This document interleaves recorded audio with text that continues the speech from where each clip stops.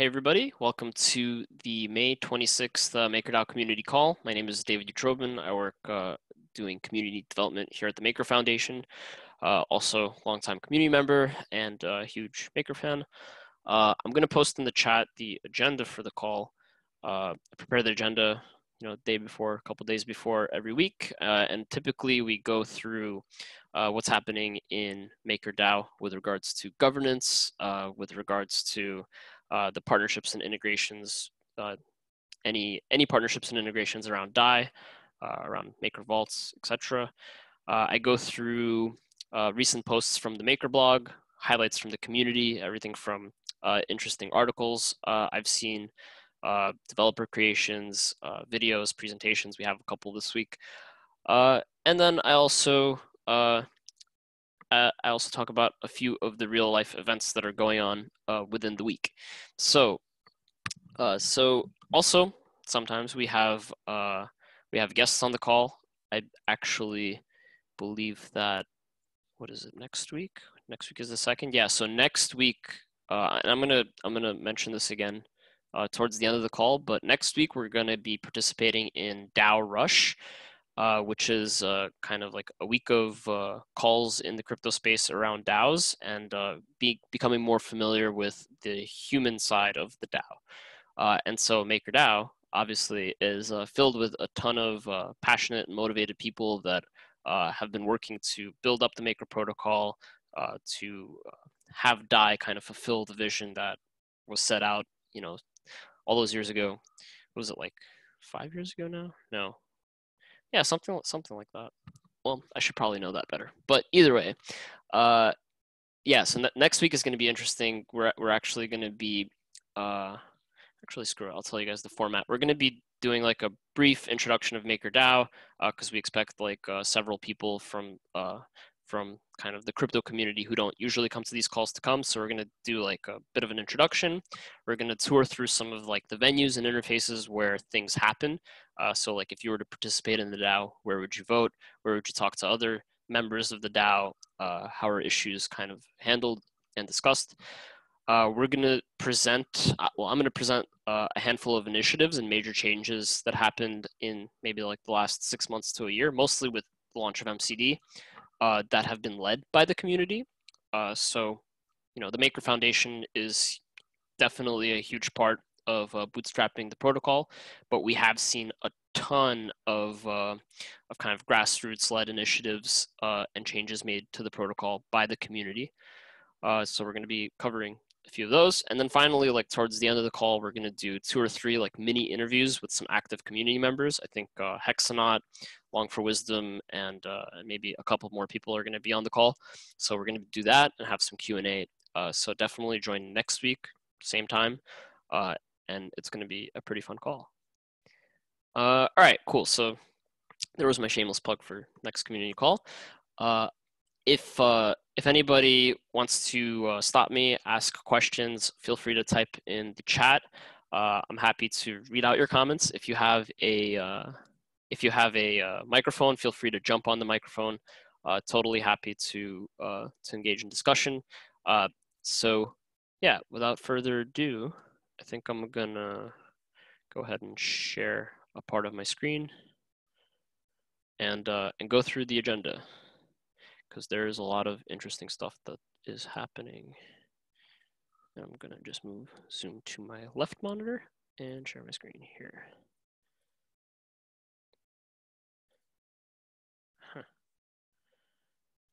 This is odd. Oh, there it is. Okay, cool. All right. Uh, uh, I assume you guys could see my screen, but uh, you know, tell me if you can't. Uh, and also, I just want to open this up so that I could see you chat. can see it. All right, cool. Thanks. Uh, all right. Sorry, give me one second because I want to make sure that I could uh, still let people in if they're in the waiting room. All right. I think we should be good. All right, cool. Uh, all right, so Uh, let's get into governance first. So uh, a few TLDRs. Uh, this week uh, we have an executive vote uh, that is live right now, and it's actually ending, I think, on Thursday. Yeah, Thursday, four days. so it's to ratify MIP zero sub proposal. well, component 12 sub proposal 2 so if you're interested in like what, what all this crazy notation means you can go into the MIPS uh, uh, GitHub repo and, and read a little bit about it. But uh, basically, this is uh, C12 is the process for onboarding uh, new personnel into like giving people official positions in the DAO. And so this is the first example of that. And it's the onboarding of Long for Wisdom as the second uh, official governance facilitator. Uh, as many of you know, the first was uh, Richard Brown, uh, and he definitely did uh, did a ton of work pioneering that role, and and he nominated Long for Wisdom to be the first community Uh, elected and uh, rat- you know, hopefully by the end of this week ratified governance facilitator. So if you're an MKR uh, holder, definitely go vote, whether you're for or against Long. but I wanted to point out that what did I want to point out here? Actually, yeah, that's about it. Uh, so yeah, if you're interested in reading more about this, I added some links down below.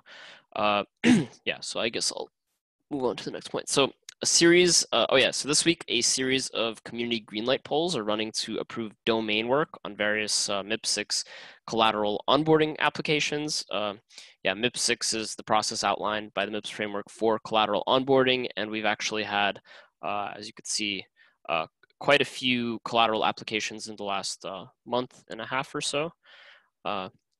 So the community greenlight polls are meant to approve further domain work on each of the collaterals. So uh, maker holders can essentially say, yeah, you know, smart contracts team, uh, Oracle team, what's the other, what are the other teams, David?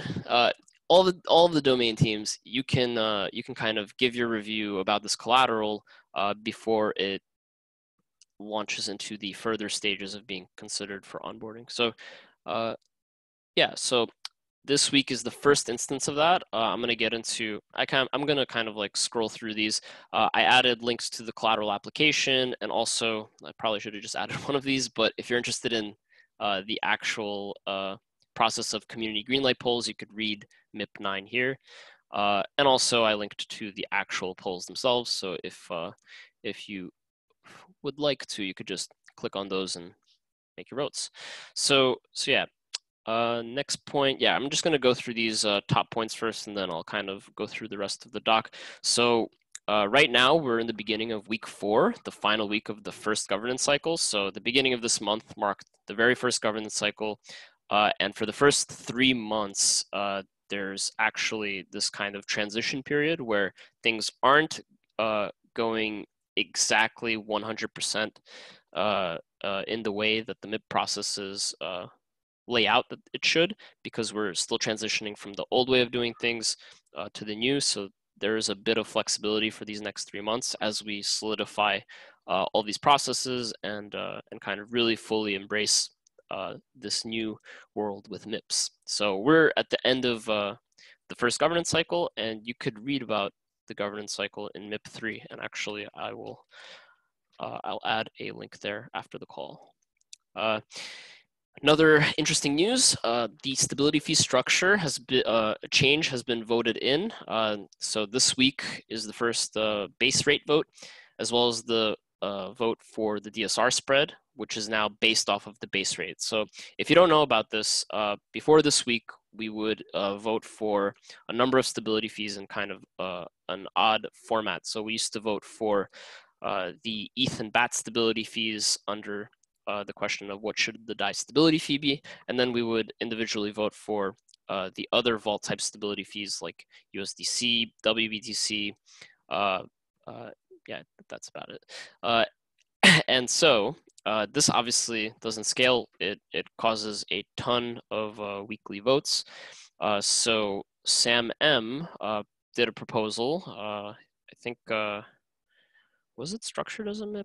I think, I don't think it was actually.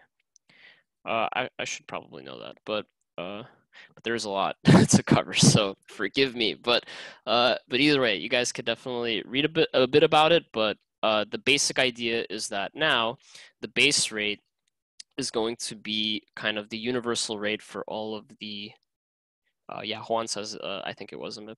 Yeah, I'll I'll link it if if I if I find it after the call. But uh, but yeah, so the base rate is basically the uh, uh, yeah exactly what it sounds like uh, the uh, base rate for all vault types across the board, uh, and then in addition to that, uh, maker voters will vote on. Uh, I think it was called a well. It, the idea is it's a risk premium, so it's like an additional rate that's added on top, that's based specifically on the type of vault itself.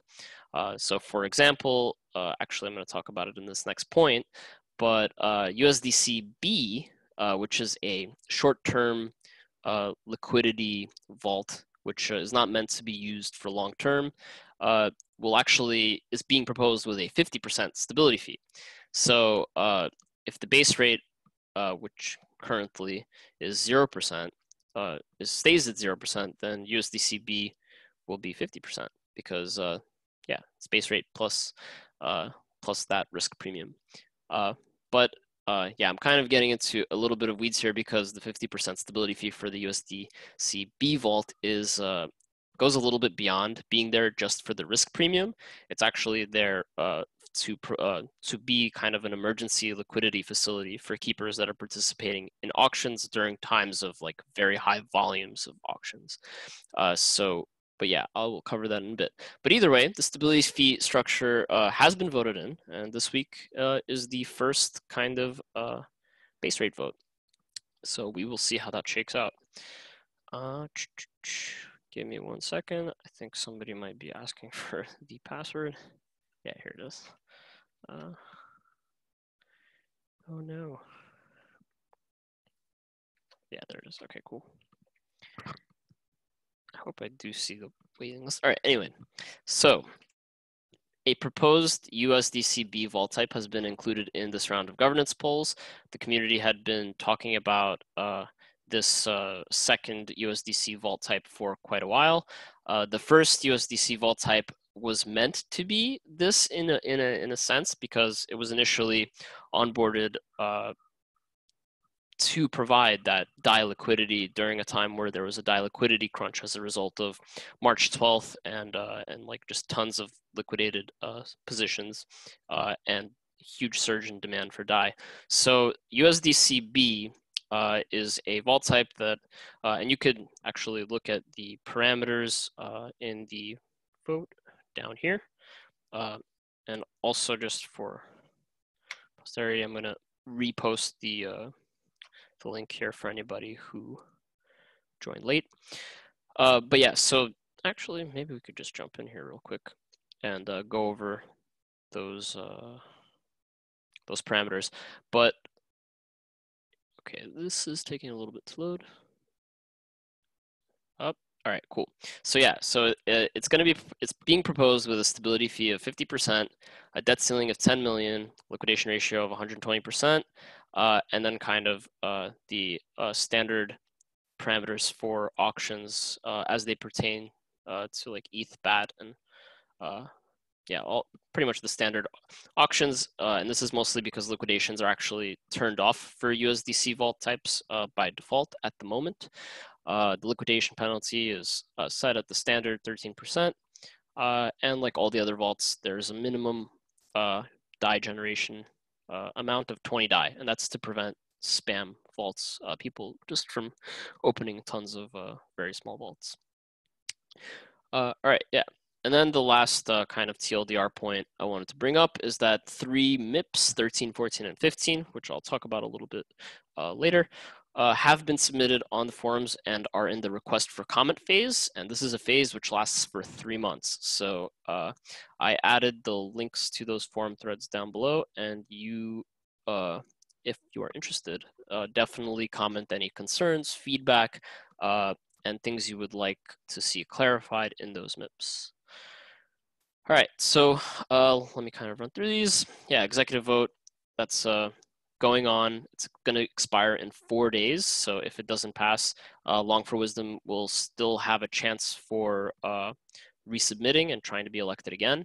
Uh, but as part of uh, the process outlined in MIPS, uh, this specific executive vote, uh, which happens in the fourth week of the governance cycle, which is this week, has to be passed within four days. Otherwise, it's it's null and void, and it's actually kind of hard coded in there.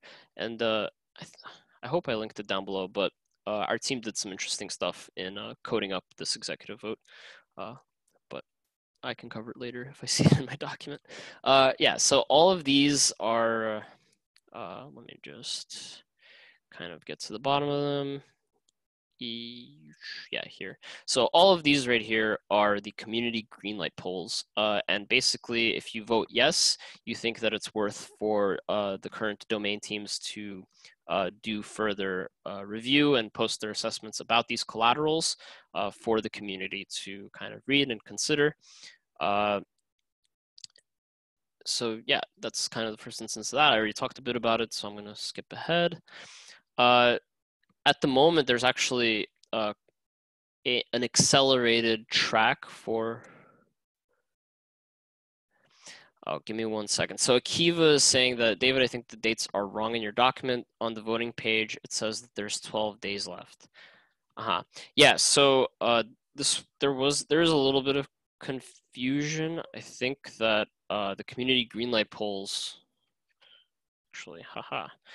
Luck, lucky for you, Charles actually just messaged me. So I think, uh, I think in about a minute or two, I'm gonna ask him to clarify because he could probably do it a bit better for me than me. Uh, and Mark is asking, what's the current bottleneck uh, for a governance poll for Lend? Uh, for Lend, I'm not, I'm not actually sure. Uh, I could uh, I could check it out right now while we wait for Charles, but uh, uh I'm asking the question because we we did the collateral application approximately at the same time that the other. Yeah, so. here here it is. So so the lend application. I think so. There was a number of uh, of domain green lights that are due. So the smart con, you know, the Oracle team posted uh, like let me see if I can find an example, but uh, the Oracle team posted, for example, uh, this kind of uh, onboarding evaluation for a number of the uh, of the applications. I think that it's just uh, a backlog issue, if I'm not mistaken. But uh, yeah, yeah. And no issue. It will be in the next batch, I guess. No issue at all. Hopefully. Uh, yeah, it just looks like it's a it's a backlog issue mostly, but I'm again I might I might be wrong. Uh, Thanks a lot. No worries. All right, cool. So so yeah, so if you're interested, I could actually uh, post this here, uh, and any of you guys could bookmark or gals can bookmark uh, this page and and kind of use it to see the current status of any uh, collateral applications. Uh, all right, so while Charles is on the way here, I'm gonna address the uh, two week versus three day thing because I I I'm not sure if if I'm right or wrong, but uh, Charles will have a, a way better uh, explanation. And the reason why I'm not sure is is because when I read MIP nine, it says that the community greenlight polls are supposed to last for uh, uh, for basically five days, like from Monday to Friday of the fourth week.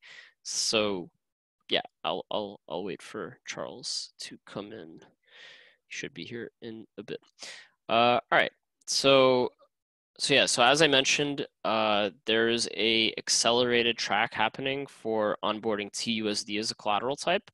Uh, some of the domain work has already been done, and as part of this three month uh, period uh, where we're in this transition period, uh, the domain teams have a, a, lot more flexibility to kind of work on the collateral that they think uh, has the best sentiment from the community and uh, and has kind of by their judgment uh, the most appropriate level of priority. So at the moment, there is a ton of desire in the community for uh, diversifying the stablecoin side of the collateral portfolio.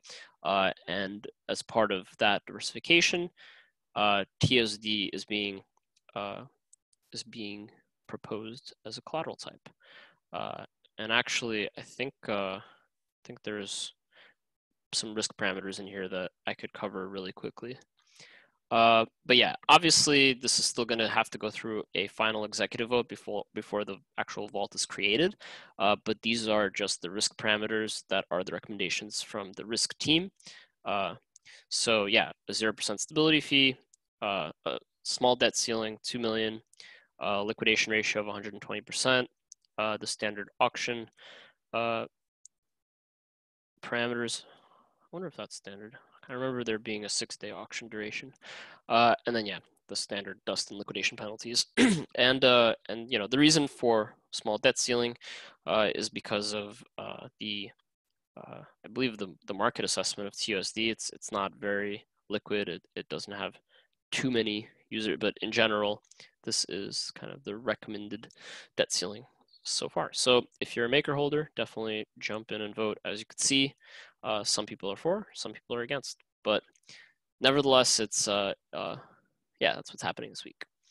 Uh, so the governance facilitator determined that we should also put up a community greenlight poll uh, based on kind of just the regular process, how it came through. Also in the possible situation that, uh, that this poll does not get voted in this week, uh, we could then revert to the regular MIPS standard process and continue like the others. So uh, so we're still having a community greenlight poll uh, for TUSD, uh, just to stay true to the MIPS process. Uh, all right, so yeah, I mentioned this before, but add USDCB as a collateral type. Uh, already went into a bit of that. Uh, yeah, the base rate vote and the DAI savings rate spread adjustment vote. So, so yeah, if anybody has questions about that, feel feel free to to jump on. But I think I covered it enough. Uh, a summary of last Thursday's risk and governance call is on the way. It's going to be posted to the forums uh, later tonight, uh, so look out for that. Uh, there were a couple of really interesting uh, presentations on last week's uh, risk and governance call, and I'll talk a bit about them in like five ten minutes when I get there. so some some links from governance at a glance. Oh no, actually didn't post MIP 14 and 13 here, but uh, I thought I did, but it's okay. I'm gonna post the links here after.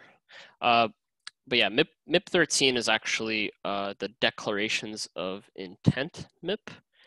Actually, I could really quickly link it. Haha. So this is a, a, a, process MIP that basically gives uh, governance the ability to almost like produce a bounty. Like, all right, we intend to pay X amount for X service from X person.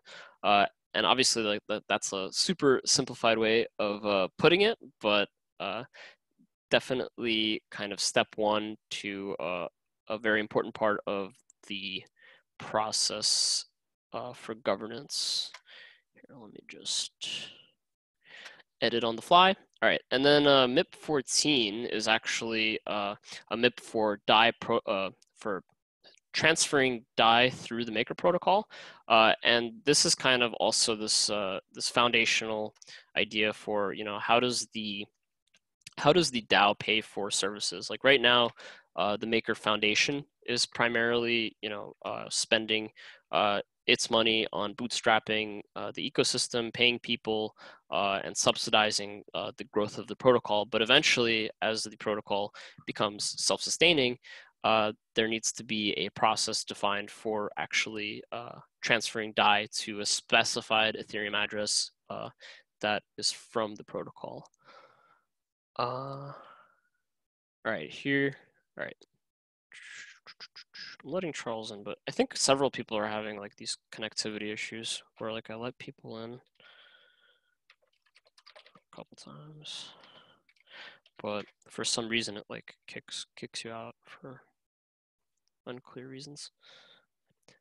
All right, cool. So, uh, so yeah, so these are the three MIPS that are in the request for uh, comment phase. This phase again lasts for three months. So uh, if you're interested, uh, definitely comment on these threads. Uh, I have no doubt in my mind that there will uh, probably be some presentations around these two. uh, maybe not. But uh, this week, last Thursday, there was a presentation on the dark spell mechanism, which, uh, if you don't know what that is, it's basically a process for addressing any critical bugs in the Maker protocol while kind of not revealing the uh, the bug fix uh, in the code. Like, so there's a problem because any executive vote that's passed has to wait for uh, wait through a delay period that is uh, defined in the governance security module. And the reason for the delay period is so that if there is a governance attack, uh, MKR uh, holders can have a chance to uh, emergency shut down the system or uh, basically remedy that malicious attack. So at the moment, there's a, I believe, six hour delay.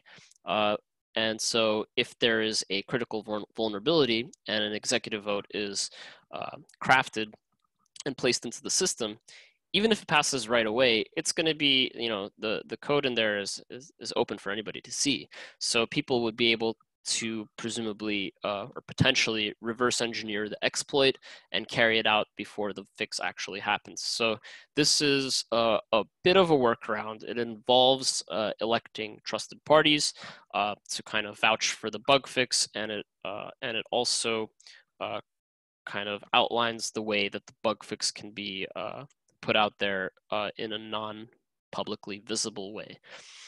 So uh, obviously, there's a lot of uh, uh, a lot of kind of uh, philosophical depth to this issue. it introduces trusted parties.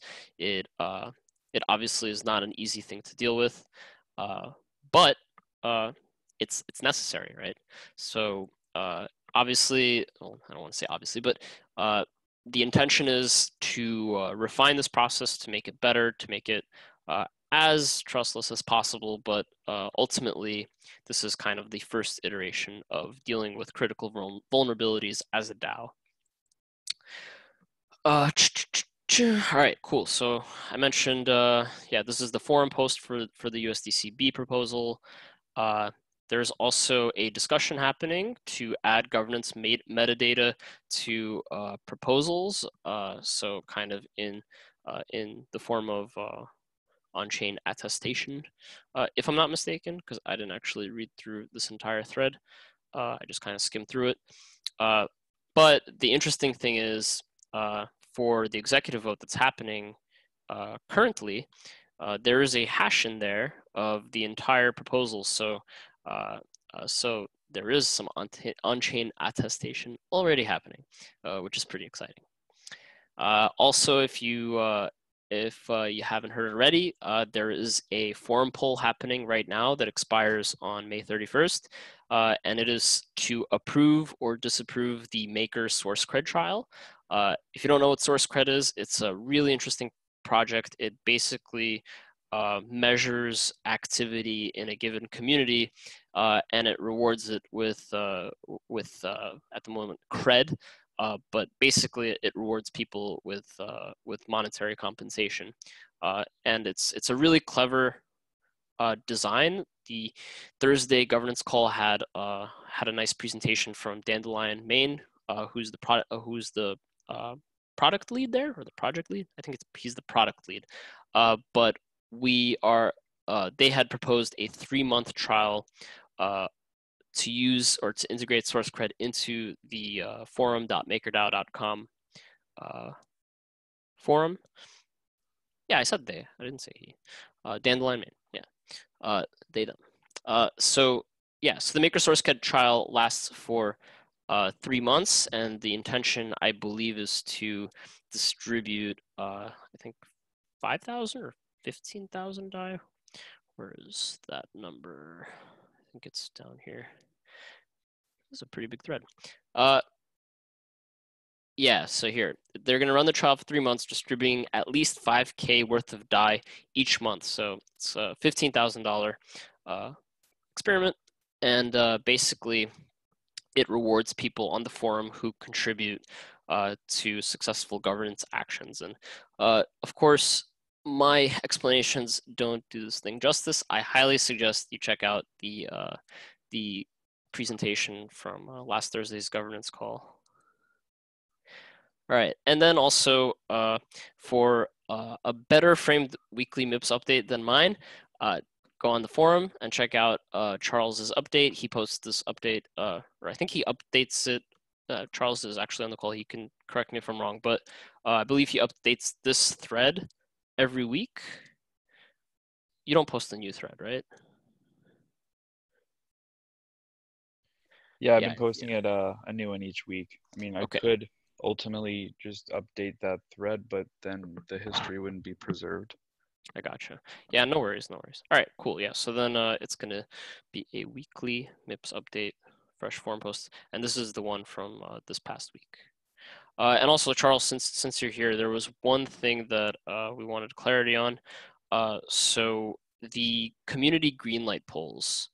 Uh, the they're supposed to last. I, I read in MIP9 that they last from the fourth Monday to the fourth Friday, but I know that there's something going on with having them last for two weeks. Can you can you unpack that? Yeah. So unfortunately, there are a couple inconsistencies written in MIP9. Uh, in a few places, it states that the CUNY polls will run for two weeks, and then in one section, it states that um, it will be from the, the fourth Monday to the, the fourth Friday. However, uh, the actual decision that was meant to be consistent in there is that they'd last for two weeks. And the thought process behind this is that the two week period gives people that aren't as necessarily active in governance, um, they kind of check in every every week or um, not not they're not constantly monitoring governance and the maker chat. So it gives them the chance to vote and provide also provide other community members to provide forum updates or do any kind of uh, updates on calls with respect to the outcomes and what needs kind of prioritizing if people actually feel they want to get that collateral greenlit. Mm-hmm. But with that being said, we may propose an amendment to MIP9 to make the uh, community greenlight polls last for the two the the last two weeks of the governance cycle as opposed to just mm-hmm two weeks starting in the last week of the governance cycle. Um, so this would help it um, better flow with the governance cycle and um, how uh, MIPS are onboarded through collateral onboarding. So yeah, it, it is two weeks. Um, unfortunately, there was an error in the MIP, but we're going to work to make an amendment to fix that up and clarify it. Right on. Thanks. Yeah, I was wondering about that. Yeah, it makes a lot more sense to do it from week two to week four, so it all kind of fits into a single governance cycle. So yeah. over these two weeks, uh, people are voting yes or no, uh, basically to tell the uh, the domain teams, you know, kind of giving them the green light or not to work on a, given uh, uh, given domain work uh, and to post their evaluations about a given proposed collateral type, right? So during those two weeks is the is like at the end of the two weeks when all of these polls conclude, uh, is it that there's basically a priority list that's based on the amount of maker that was voted yes for each, or how does that work? Yeah, so as of now, I mean, with the results of the, the community greenlight polls, you'll see the um, discrepancy between the yes and no kind of hopefully help shape the priority of them.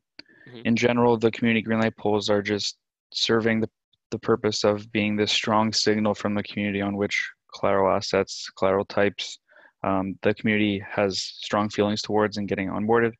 So the domain teams would then use the, these signals as a way to decide what next to uh, work on and build up the requirements to then bundle up together and make a MIP12 proposal to add that collateral type, and it would then be added to the maker protocol once, I guess, the, the final exec would go at the end of that month.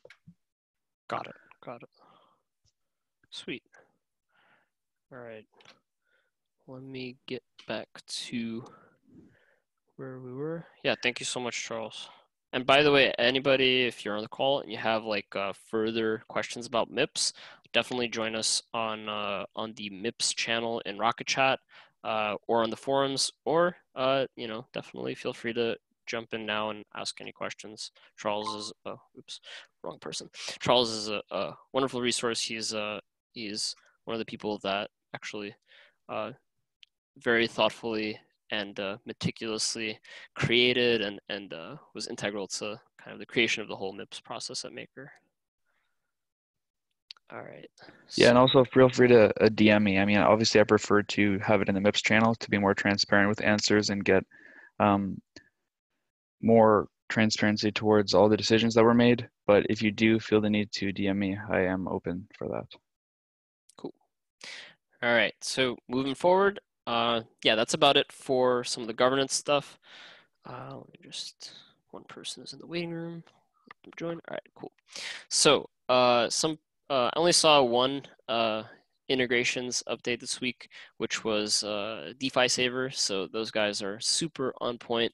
Uh, you know, we added uh, the Maker Protocol added WBTC as a collateral type recently, and now DeFi Saver uh, supports it uh, completely. Uh, so, yeah, definitely read up on this article if you're interested. but yeah, and also on Tuesday, June 9th, uh, I am interested in doing kind of a special version of this community call that focuses on risk mitigation uh, tools in DeFi, specifically for vaults and, and uh, MakerDAO. Uh, so if you have any uh, great uh, like providers that I might not know about, definitely DM me. I'm interested in having you know several of these guys on the call or gals on the call. so so yeah, hope hope to put together something interesting for you guys and gals. Uh, all right. So from the Maker blog, we uh, we put out one uh, interesting article this week: how Dai became a favorite crypto in Latin America. Uh, and I definitely know a part of that is uh, the infamous Mariano Conti. Uh, you know, shilling Dai super hardcore in Buenos Aires. But yeah, feel free to read that. It's a really interesting read. You know, as a person you know me living in New York uh, and in general, like if you live anywhere and you stay there for a long time, you kind of don't realize how different uh, different parts of the world are. Uh, and so in Latin America, the whole money situation is completely different from New York. Uh, and so DAI has been helping uh, a ton of communities, uh, particularly like developer communities and designer communities, um, many freelancers uh, to get paid in something that uh, holds its value a lot better than the Ar- Argentinian peso or, or even Bitcoin, right? So uh, I actually remember Mariano told the story of, you know, first it was, you know, he used to get paid in the Argentinian peso, and then part of his uh, negotiation uh, of his salary was also in the US dollar. But since people couldn't access US dollars, this kind of transformed into being uh, negotiated for pesos and Bitcoin. Uh, and that also is kind of a, a little bit nuanced because Bitcoin is volatile. So uh, there's a lot of weirdness in the agreement. And then now people are moving to uh, to doing agreements in pesos, uh, Argentinian pesos, and DAI, uh, which is super fascinating uh, to, to see people naturally using it. And and that's exactly what DAI is for. And actually, Mark in the chat adds that he's paid in ADAI, which is Aave's version of DAI uh, inflation mitigation DAI and the best way to get payroll. Yeah. yeah. All right. Uh, so launching into some highlights from the community, uh, the Maker Foundation and uh, Dharma partnered together to do a Dai for Memes campaign. Uh, you know, since we all live on the internet, we all love memes. So, uh, in partnership with Dharma, uh, we we have been awarding people uh, actually through Twitter uh, with Dharma's uh, kind of uh, gift, you know, transfer DAI tool that they created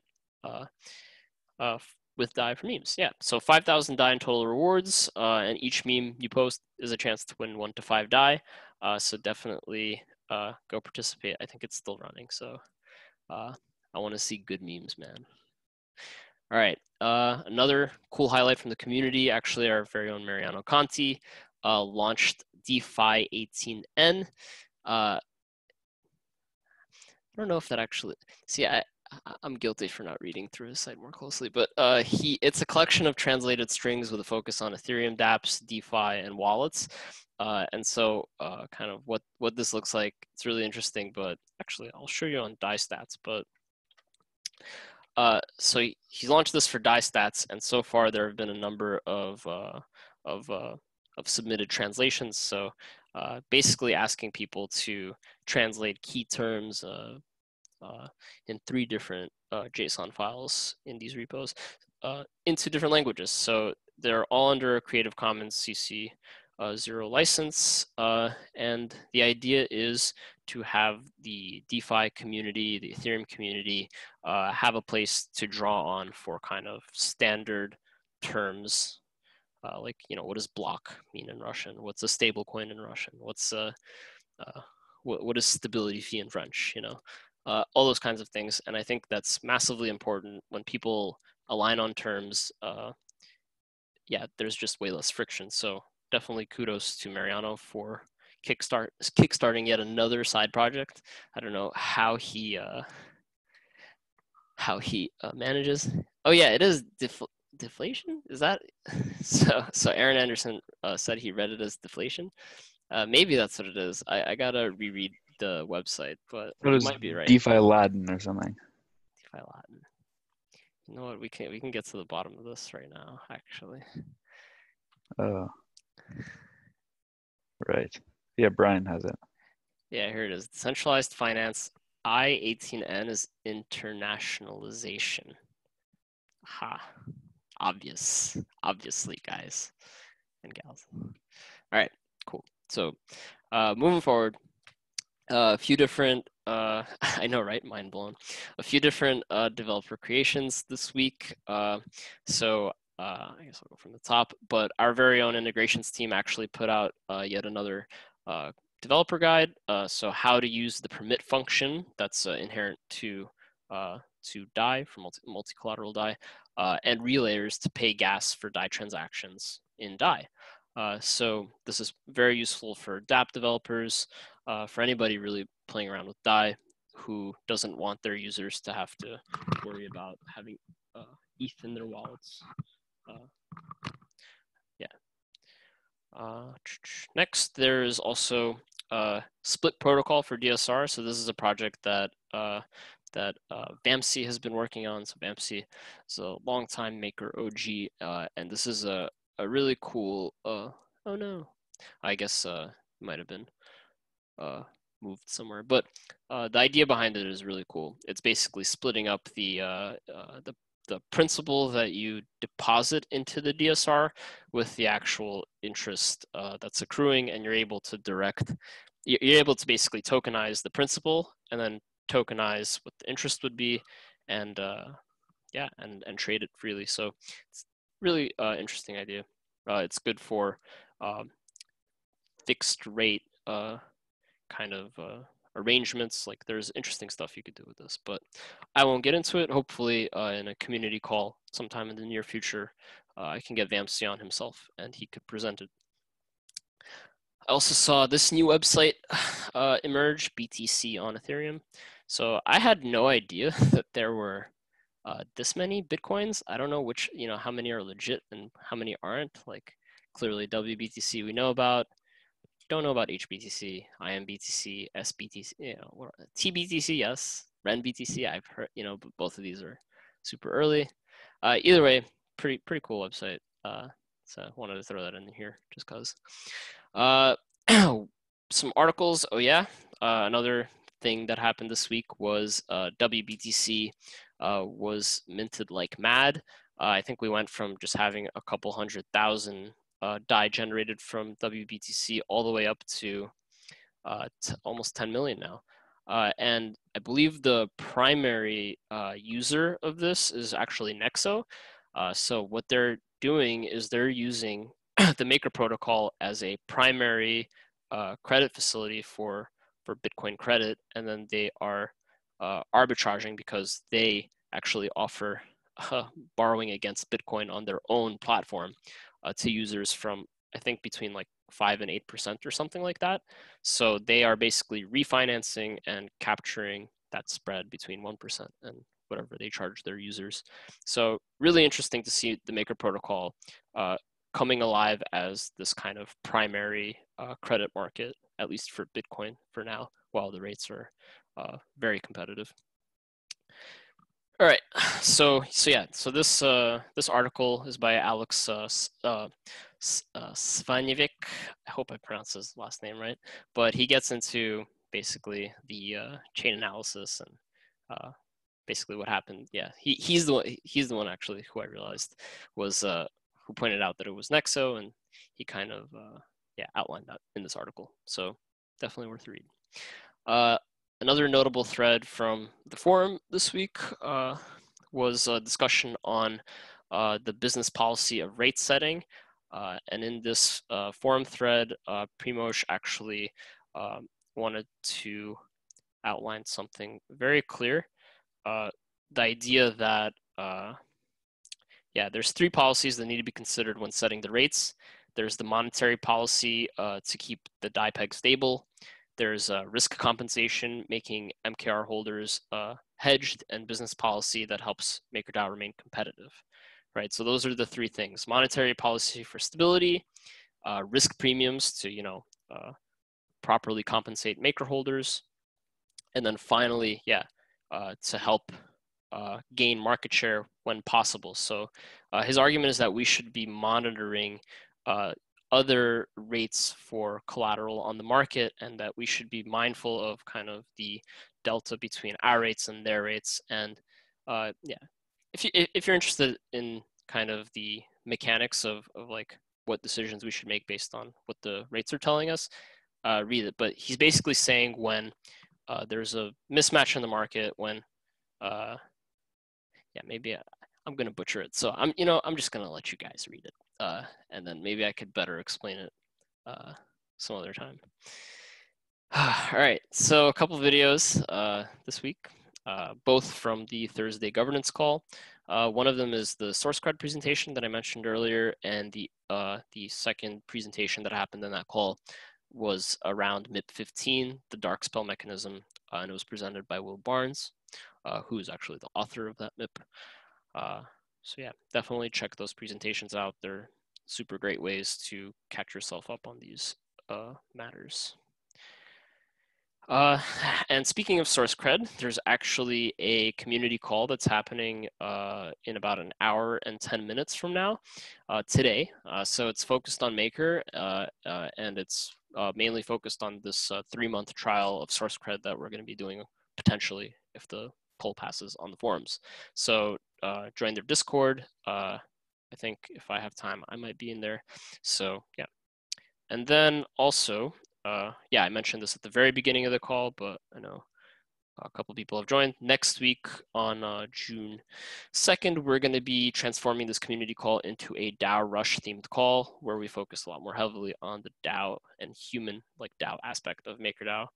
And yeah, I covered the format, but if you're interested in what it is, I'm not to uh, go over it a second time, but you could check it out here. All right. Right on. So that concludes my uh, my coverage of the agenda. And uh, if I missed anything, definitely feel free to uh, let me know. Uh, but otherwise, uh, if you guys have any questions or want to discuss anything or are curious about anything, feel free to yeah jump on the mic now, hop on the chat. but otherwise, we could probably end a few minutes early if there is no further discussion. All right, sweet. So thank you guys for coming. This was uh, this was a fun one, uh, and hope to see you guys uh, next Tuesday. Later, David.